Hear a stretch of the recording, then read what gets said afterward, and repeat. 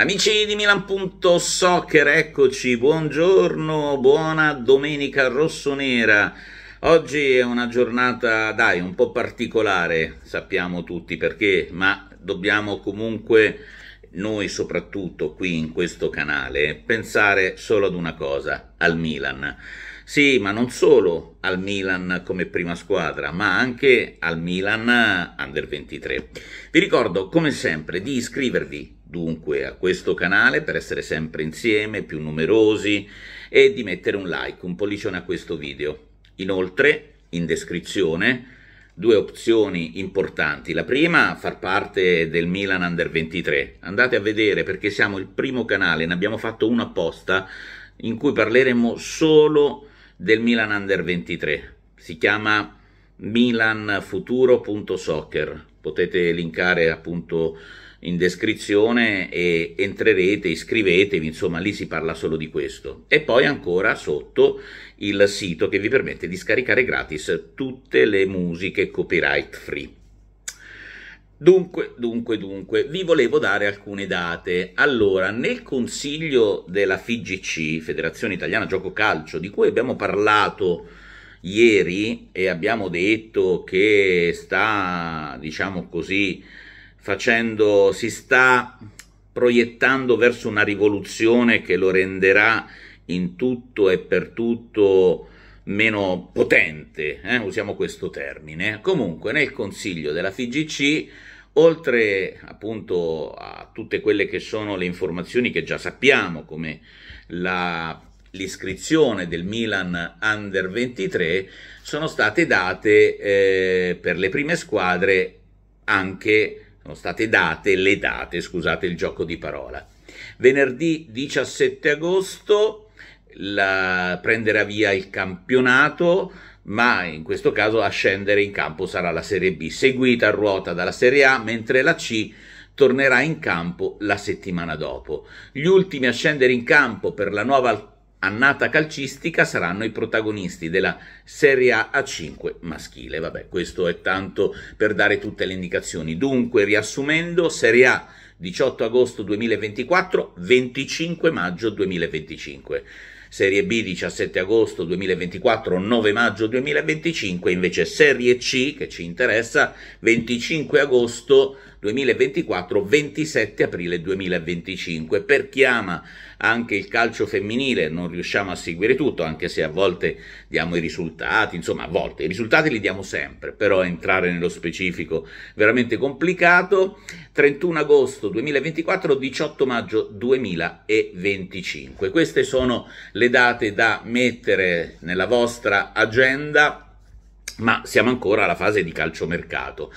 Eh, si sta parlando di Fofana, l'abbiamo detto ieri, eh, si sta parlando di Fofana che andrà a sostituire in tutto e per tutto probabilmente qualche giocatore che perderemo, si parla di Adli ma si parla anche di Benasser, il Milan dunque ha bisogno di mettere a posto questi tasselli, non solo il bomber ma proprio anche la difesa ma anche il centrocampo.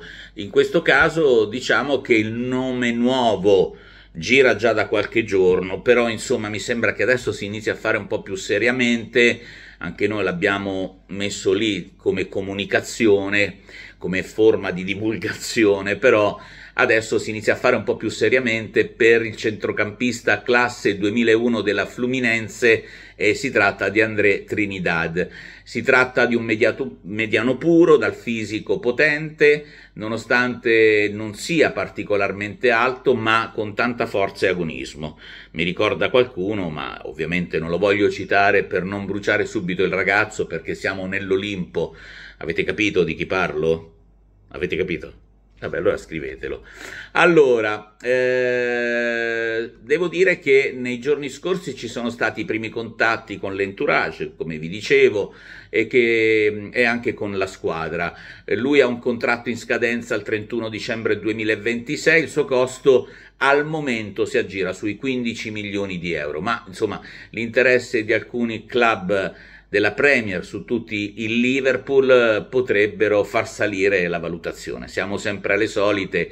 Il Milan comunque lo tiene monitorato, sempre assieme ad altri profili simili e come lo stesso Fofana, ma Fofana e eh, Trinidad sono due profili compatibili, eh? non sono l'uno che va a sostituire l'altro, per me ci vogliono tutti e due, e poi anche Vieffer del Fenrod.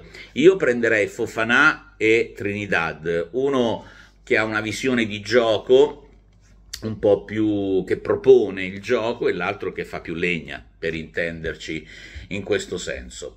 Dicevamo dell'attacco, dell'attacco, quindi del bomber, eh sì, beh, in effetti siamo sempre lì, però c'è un retroscena che dà veramente il là per poter usare quel termine che fondamentalmente non ci piace moltissimo, però in questo caso dire clamoroso eh, non è sbagliato. Perché? Perché vengono fuori delle notizie dell'anno scorso, ma che ti fanno capire come il giocatore abbia, come dire, effettivamente pensato in tutto e per tutto a come sia veramente la storia, soprattutto di Milano.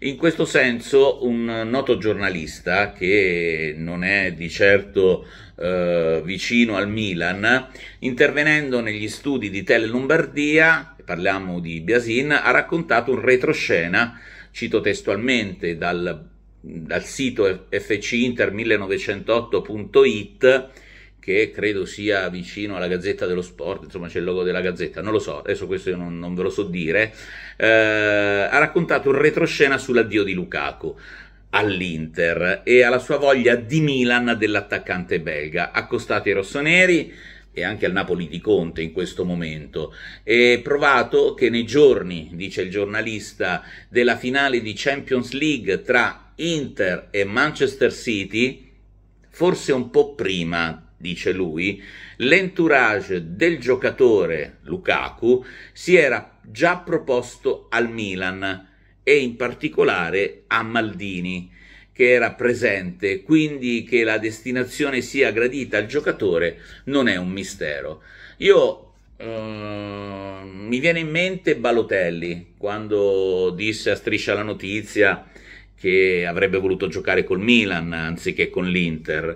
Il fatto che Lukaku fosse così vicino ideologicamente al mondo rossonero non, non, era, non mi era ignoto e infatti l'anno scorso era davvero tanto vicino, poi per mille questioni, il primo anno eccetera eccetera, insomma la cosa non si è conclusa ma davvero erano così vicini.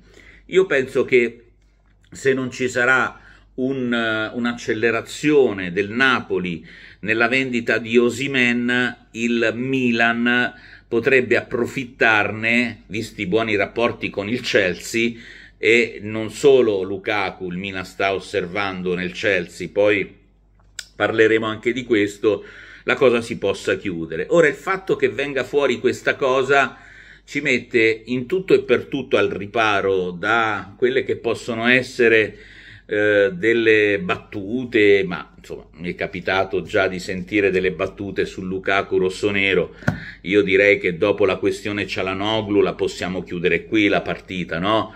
Cioè dopo aver accolto Cialanoglu come fosse interista da sempre, invece solamente una persona che ha visto 500.000 euro in più sul suo contratto, invece in questo caso lui si è proposto proprio prima della finale di Champions League, il che ti fa capire quanta voglia di Milan c'era in questo senso. Vedremo se poi avrà fatto pace con Ibrahimovic, visto che il Murales è ancora lì e che quell'immagine campeggia e campeggerà a lungo. Va bene, è tutto per questa mattina, passate una buona domenica e visto che è una giornata tranquilla, se così, con uh, il minimo sforzo, riuscite ad andare sul canale Milan Soccer, scusatemi, milanfuturo.soccer, ripeto, milanfuturo.soccer, canale YouTube, e vi iscrivete, ci aiuterete nel realizzare questa redazione che dovrà seguire un intero campionato di Serie C, quindi in effetti